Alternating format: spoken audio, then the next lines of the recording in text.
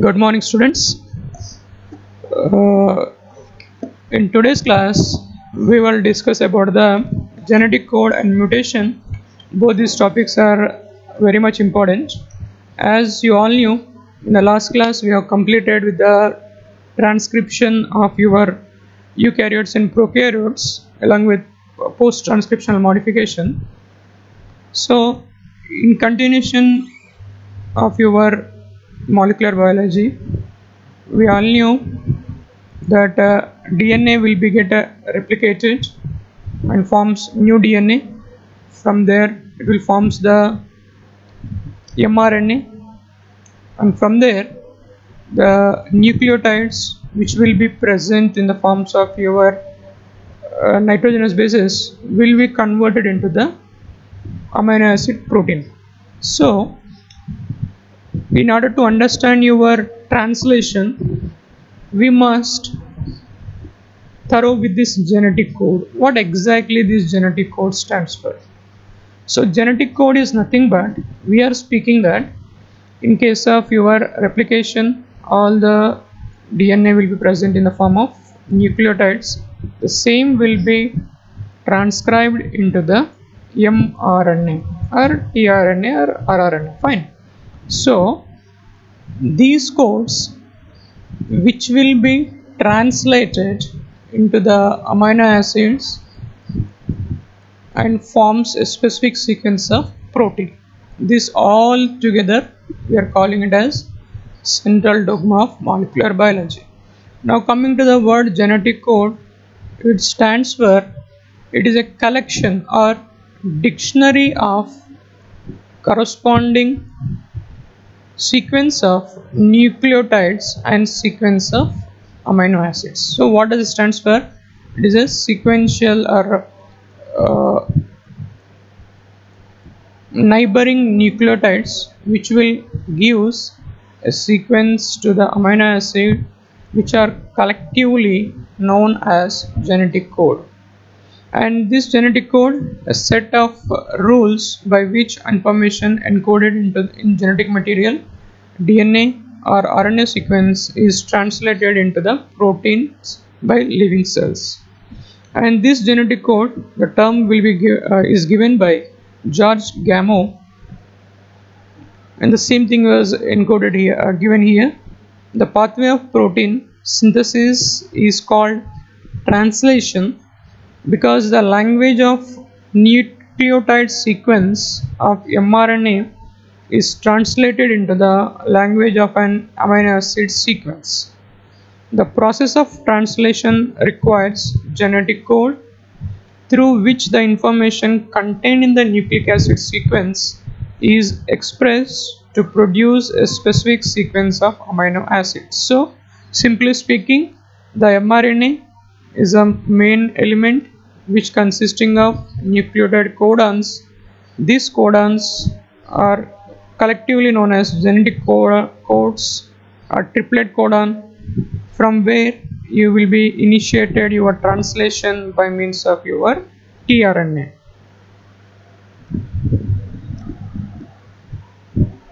And once again I given some introduction point the letters A, G, adenine, guanine, thymine and cytosine corresponding to the nucleotide found in the DNA.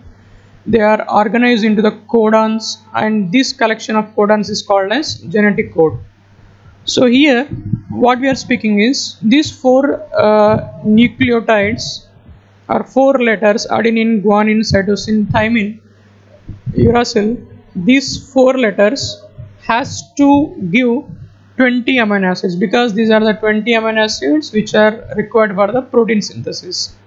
So the scientists have found that to get the synthesis of your proteins or amino acid, if one nucleotide is present, it will give only 4 combination.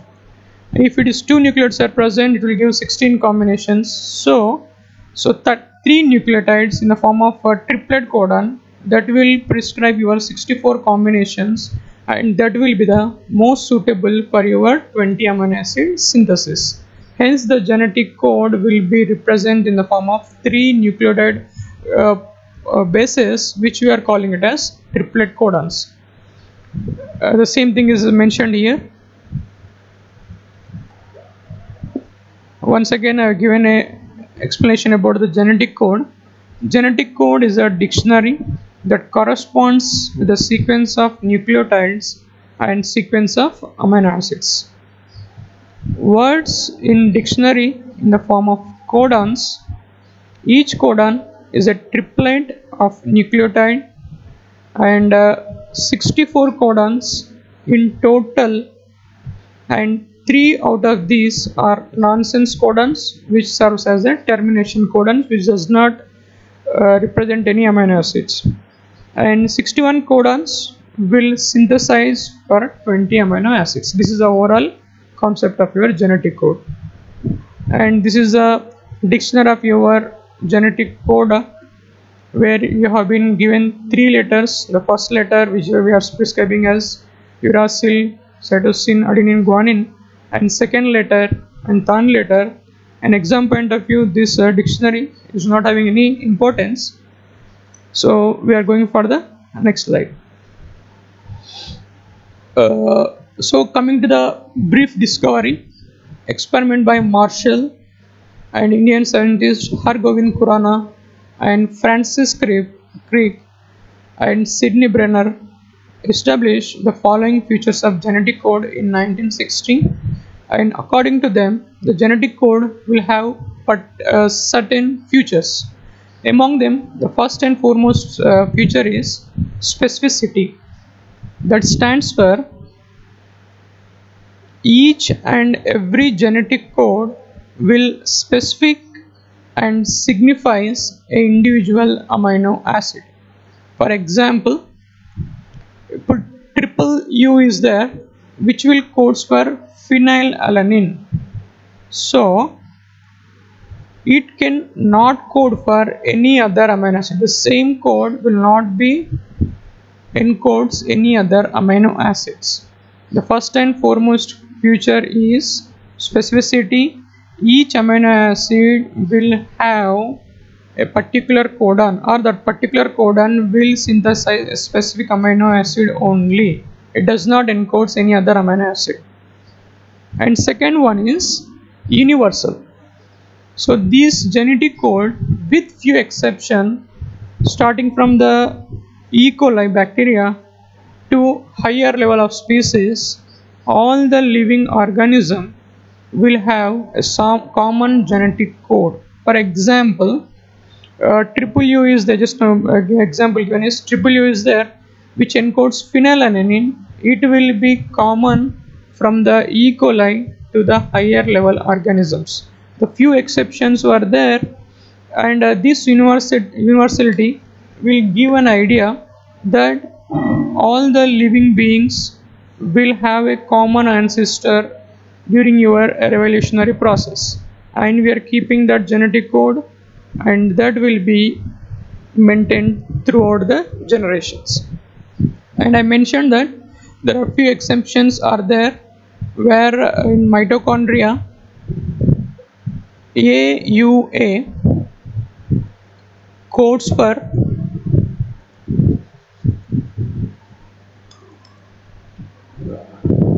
AUA codes for methionine and UGA for tryptophan instead of isoleucine and termination codon. Generally this UGA stands for termination codon and AU stands for isoleucine but in the mitochondria it is little bit different and uh, AGA and AGG code for arginine in cytoplasm but in mitochondria they are the termination codons. These are the few exception except these things remaining all the bacteria starting from the bacteria and viruses to the higher levels of human beings all will have a common protocol that uh, the nucleotide will be prescribed a specific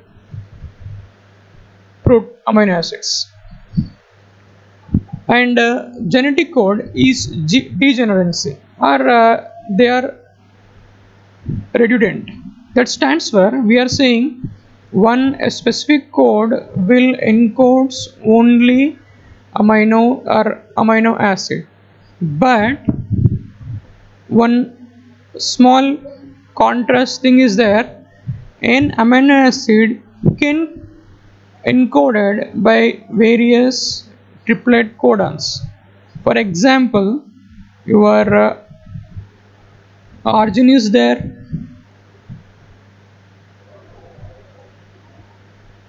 This is encoded by almost 6 codons. Only methionine and uh, tryptophan will have the single codons except all amino acids will have two two uh, six codons will be present. And these codons which is uh, having same amino acid uh, representation they are called as codon synonyms.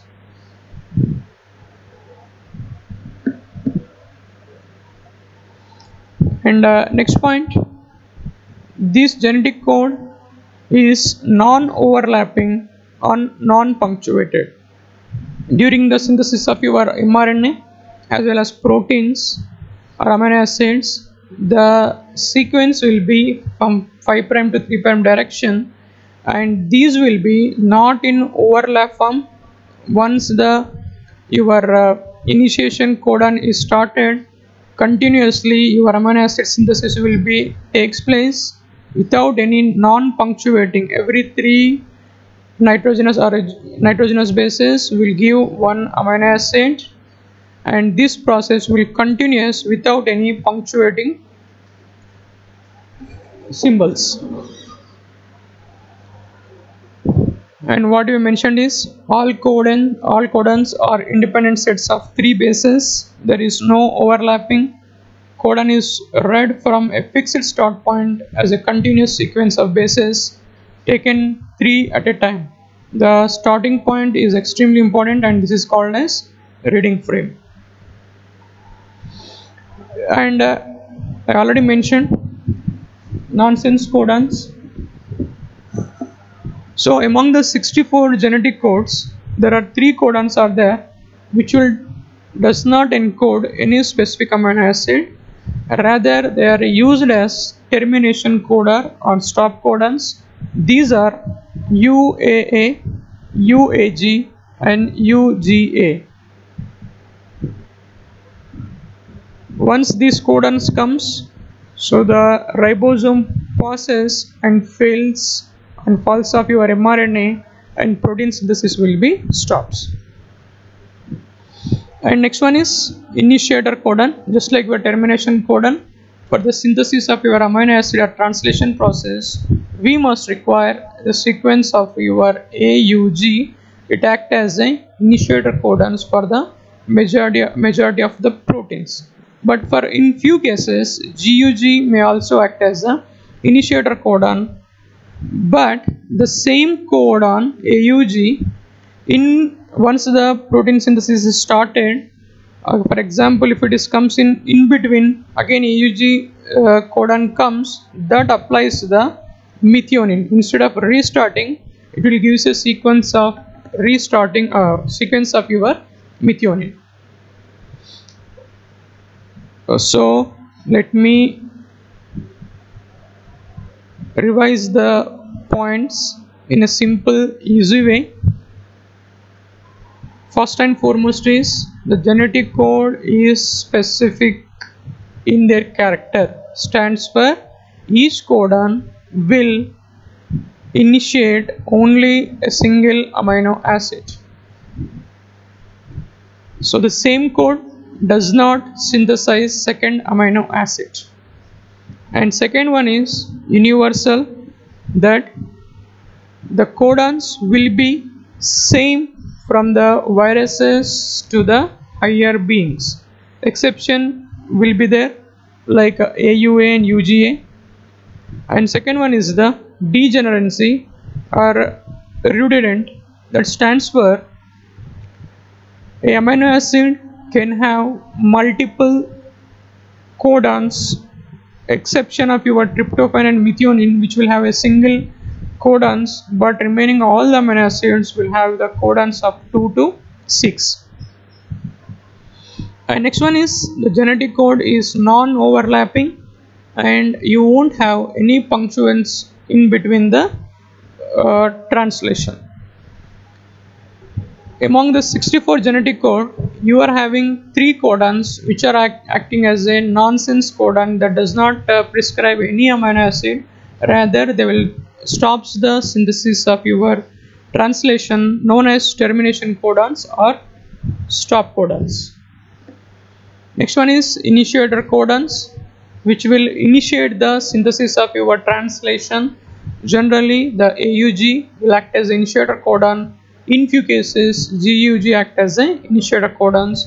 The same amino, the same codon will initiate your methionine in between. And one of the important aspect is Wobbling phenomena or Wobbling hypothesis. What does exactly stands for? Let me explain you. For example, uh, we are knowing the Watson-Crick base pairing where we are speaking adenine guanine, cytosine and thymine are in case of uh, your RNA that is uracil. So always adenine will bind with the thymine and guanine will bind with the cytosine and cytosine will bind with the guanine and thymine will bind with the adenine. So this one is your Watson-Crick base pairing. But in the living system if the same is applied so for the 64 codons we must have 64 tRNAs but in the living system we are not having the 64 tRNAs we are having less number of tRNAs so what does it stands for? In second mechanism uh, as we are not initiated the translation so let me uh, brief you. The mRNA will encode the all the codons and this will be read in the direction of 5 prime to 3 prime and your tRNA will have the anticodon site. This will be exactly triple, uh, triple identical to the your mRNA. So here what we are saying is in the mRNA the base pairing is restricted first second and whereas the third is degenerative will be present. Or instead of your Watson-Crick model we are having an uh, another nucleotide along with this adenine guanine cytosine thymine. We are having another nucleotide that is called as inosine inosine or hypoxanthine. This inosine have the capacity to bind with your adenine, guanine and cytosine. Unlike your these elements, it can bind with the adenine, guanine and cytosine. So this process is known as Wobbling phenomena where the base pairing of mRNA is restricted to the first and second nucleotide first and second nitrogenous base whereas the third one is done by Wobbling bond or the inosine will bond with the any other effect whereas the first and second nitrogenous base will be purely by your Watson and Crick base pairing so you can apply here for example you are having the proline has four codons which is read by 5 prime to 3 prime direction that is CCU, CCC, CCA and CCG. So the first two codons will be uniform whereas the third codon is varying. So this varying degeneracy is mainly applicable to the fourth uh, third codon only because this third codon is not following your Watson-Crick rule but it is following the Wobble hypothesis. The same thing is mentioned here. The degeneracy or codon synonyms of genetic code resides mostly in the last nucleotide of the triplet codon. suggesting that the base pairing between the last nucleotide and the corresponding nucleotide of the anticodon is not least by the Watson-Crick rule. This is called Wobble and the pairing of the codon and anticodon. The same thing is mentioned here, the Wobbling phenomena. The rules of base pairing are relaxed at the third position so that a base can pair with more than one complementary base. Some tRNA anticodons have inosine at the third position.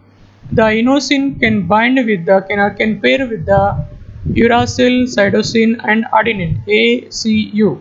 This means that we don't need 61 different tRNAs we can buy uh, we can have the only 31 or 30 um, uh, tRNAs only half of of as many are required for the your translation process. And Wobbling phenomena the first two bases in codon in mRNA base pair traditionally with the second and third base pair of the anticodon in tRNAs Non-traditional base pairing is observed between the third base of the codon and the first base of the anticodon. What they are saying is, so this is your mRNA and this is your anticodon of tRNA. So in the mRNA the coding will be 1, 2, 3 in 5 prime to 3 prime direction but whereas here the third codon will bind with the first codon, second will bind with the second and first one will be the third one. So in the third nucleotide of the mRNA and first nucleotide of the tRNA will follows the Wobble binding or Wobble base pairing. The reduced specificity between the third base pair of the codon and the complementary nucleotide in anticodon is responsible for the Wobble, the same thing we have mentioned. And uh, just now I told you, no, the tRNA C will bind with the G traditionally and A will bind with the uracil, uracil will bind with the adenine and U will be bind with the G. But in case of your Wobbling phenomena or uh, the uh, tRNA consisting of inosine, this inosine can bind with the uracil, the same uracil can bind with the cytosine, the same bind uh, inosine will bind with the adenosine. This process is called as Wobble phenomena. Simply speaking, in the Wobble phenomena, the binding of your anticodon of tRNA and codon of mRNA is restricted to the first and second nitrogenous bases by Watson-Crick whereas third one is by Wobbling process or Wobbling base pairing. And uh, this Wobbling hypothesis having few characters the same thing as I already mentioned you but uh, this is important for the exam point of view so I took it from the Pankaja Naik. Let me read for you. The first two bases of an mRNA codon always form strong Watson-Crick base pairs with the corresponding bases of the tRNA anticodon. And the, and confer the most of the codon specificity. As I mentioned the mRNA first and second as well as in the tRNA second and third will be binded or binds by the Watson-Crick and this Watson-Crick is the strongest one and they will be encodes or confers the most of the your codons. Whereas the task the first base of the anticodon reading from the 5 prime to 3 prime direction the space with the third of the codon determines the number of codons recognized by the tRNA. When the first base of the anticodon is C or A, the base pairing is specific and only one codon is recognized by the tRNA. When the first base is U or G, the binding is less specific and two different codons may be read. When inosine is the first Wobble nucleotide, of an anticodon, three different codons can be recognized. So this will be depends on the tRNA nucleotide presence. When an amino acid is specified by several different type of codons,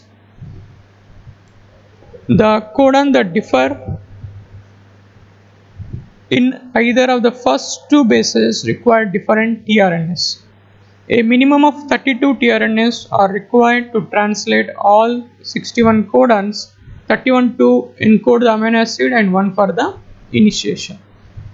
So this completes your what is genetic code, what are the properties of genetic code and what is Wobble hypothesis.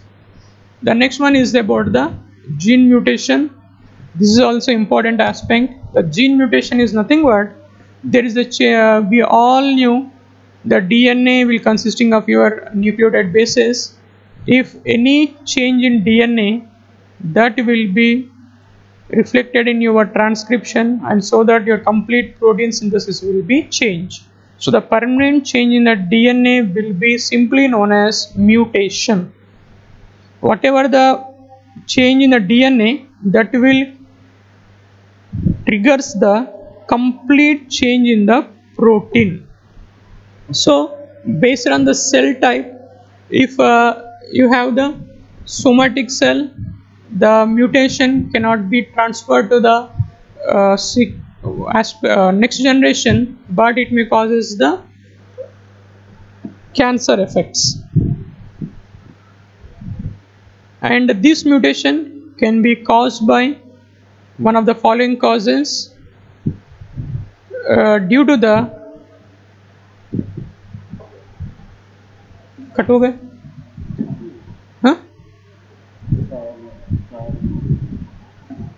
कटोगे? चालू है।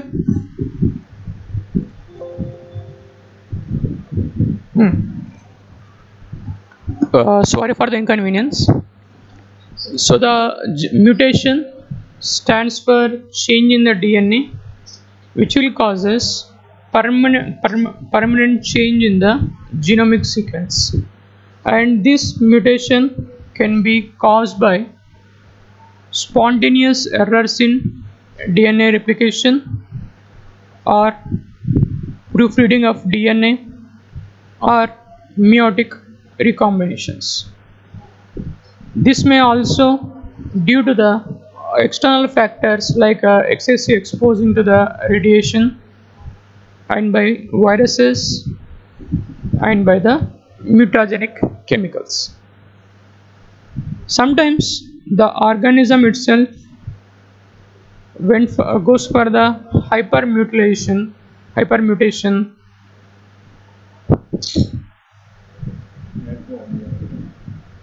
and causes